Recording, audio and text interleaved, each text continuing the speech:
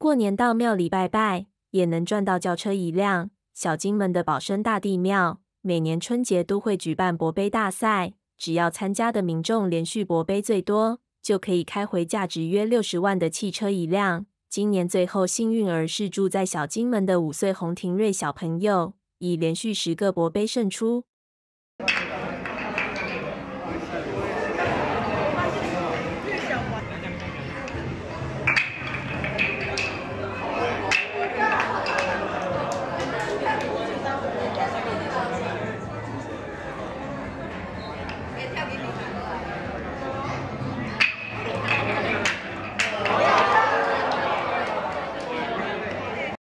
博杯，博杯在用力博，不管大人或小孩，大家双手合十，向保生大帝祈求直出圣杯。而画面这位小朋友由妈妈陪同，竟连续直出十个圣杯，引起全场热烈欢呼。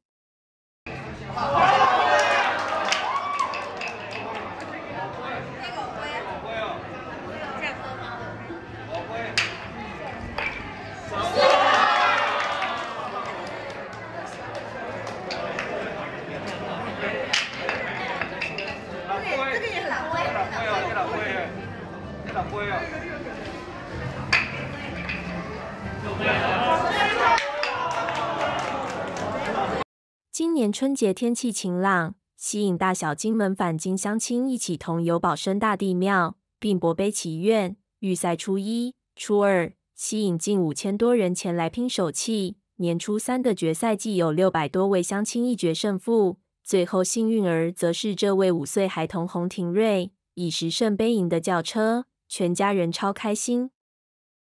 拜一下，我们昨天先拜了，昨天先拜，昨天先拜。对。啊，有没有想说会有这么好运这样子？没有，真的没有。没有。对，因为是弟弟，就想说他要把车子保回家。对他算是心想事成。弟弟有有说想要把车子带回家。有。哦，所以就真的是。对。他车子他怎么用？怎么运用这样？就自家平常家用开。家用，没有说要呃转售就这个。没有。好。好，首先代表内保生大帝庙。好向各位乡亲再拜个年啊！祝大家新年快乐，身体健康，万事如意。呃，内保生大帝庙办这个宝贝活动，啊，今年已经进入第十八年。那我们的奖品总共有六十，有六十个奖品，那就是轿车、机车，还有这电冰箱、电视、电视机，呃，包括一些电器，呃，总共有六十个的这个奖品。哎，有没有预预就是统计大概有多少个人来参与这样？那今年大概也是五千多个人次。五千多个人次。是是。哦，啊，进入决赛这个人？那进入决赛有六百多个人。六百多个人。是。哦，啊，我们刚刚现在很多人是不是都赶着要在截止前来保播这样子？那今天是决赛，那因为昨天昨天晚上八点半就截止了。那我们初赛总共办了两天，初一、初二，对。